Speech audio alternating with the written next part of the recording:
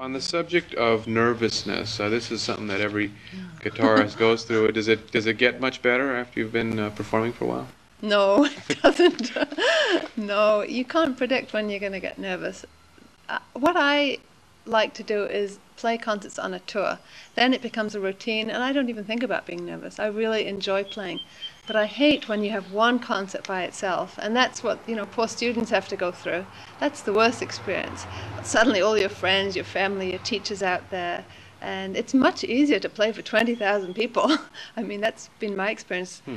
When I was doing those light tours, I never used to get nervous, and yet playing for 50 people in a lit room, you know, those early student days, that's agony. Hmm. So it does get better in that um, you get just a little more used to it, and your concerts get uh, you know, more clustered together, and then you don't get as uptight.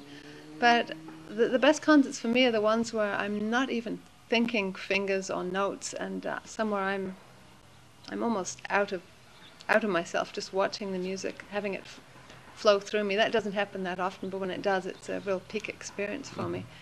Um, it's just hard to predict. Sometimes I feel I'm totally prepared, and yet you still feel more uptight. Mm-hmm. And when I get nervous, I don't get like shaky nervous or anything like that. I just don't put any expression into my playing.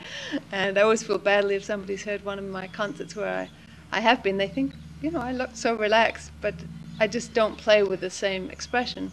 And when I've been on a whole tour and playing night after night, I play a hundred times better. Mm just with more general expression. Mm-hmm. I'm I'm not thinking about where the fingers go. I'm just thinking pure music, mm-hmm. and I always feel I'm more uptight about a piece that I haven't played before when I'm giving its first performance. Mm-hmm. Then I'm thinking, let's see, this finger goes here, and you know, I, my best playing is when I'm not even aware of what my fingers are doing. I always try and spend a few minutes just alone, just quietly meditating before I go on the stage, making sure the guitar's in tune. And then when I do that, I just sit there and close my eyes and relax and just uh, get very, very concentrated. Um, sometimes I worry, is the sound right? If I'm using a microphone, is that going to be the right level? Um, are the strings going to stay in tune?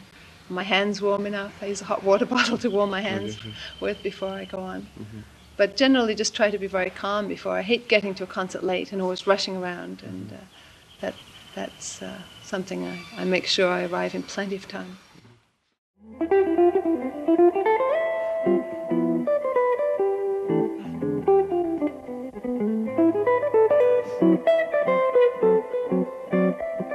I'd met Lenny uh, through Chet Atkins, who was like a father figure to Lenny, and known him for years and years.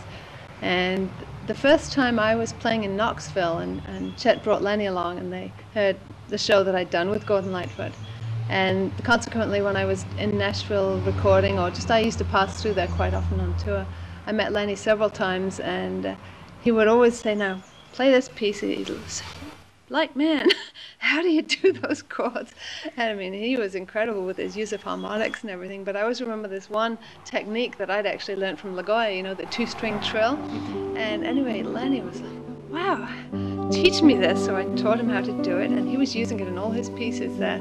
And in fact chet atkins still calls it the liona lick i suppose it's really the lagoya lick but, and he uses it in a lot of his uh, his arrangements.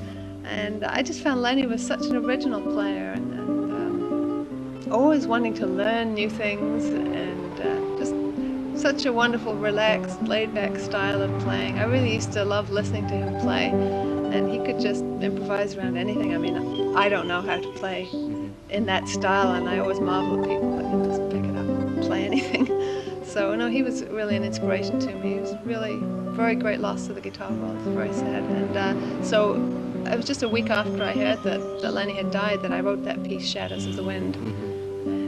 Every time I play it, I was think of Lenny. Wish he was still here with us.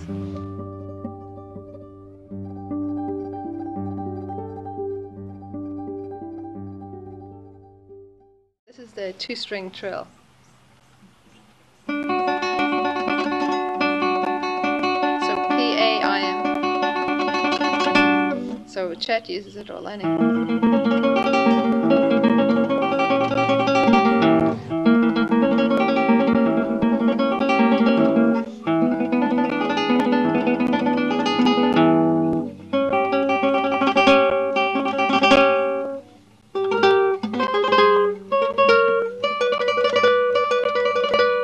It like in harpsichord music or in Bach. Instead of instead Oh, of the Segovia Oh, way see. of doing a Right. And often I lift the. Uh, I use that a lot in uh, Baroque music. But I say the way Lenny uses it is, is he used to do arpeggios and things Right. using that same P A I M.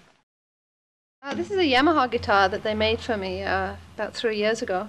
It's actually got a little Countryman mic in it now Mhm. because for playing with my group. Right. But uh, it's the one I did the Liona Live in Tokyo album Oh, on, yeah. and it seems to have stood up quite well in the weather. It's still a little soggy sounding after India. It's very humid over there, but it's it's a very uh, nice guitar. I, uh, it's a nicely balanced instrument.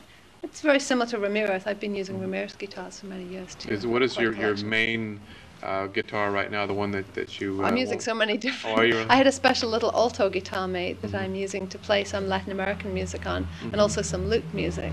Mhm. Um, it's tuned a fifth higher, and it's a beautiful, crisp, clean sound. So I'm Mhm. playing that. I'm also playing horrors of horrors, uh, some electric classical guitar that I use in my shows um, for some of the more popular music. Um, and playing, you know, I have several Yamaha guitars that they've made me, Mhm. and also about five Ramirez guitars.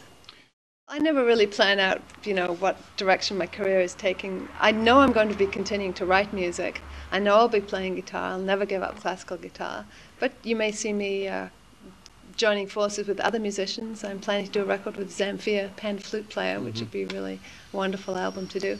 Um, who knows? I would like to record some of the things I've written for guitar and orchestra. I Mhm. think that would be a, a valuable contribution to the guitar world. But I never would have thought a few years ago that I would be playing with Yo-Yo Ma and Eric Clapton, so I just don't know. Thank you so much. Thank you very much. Say hi to Segovia.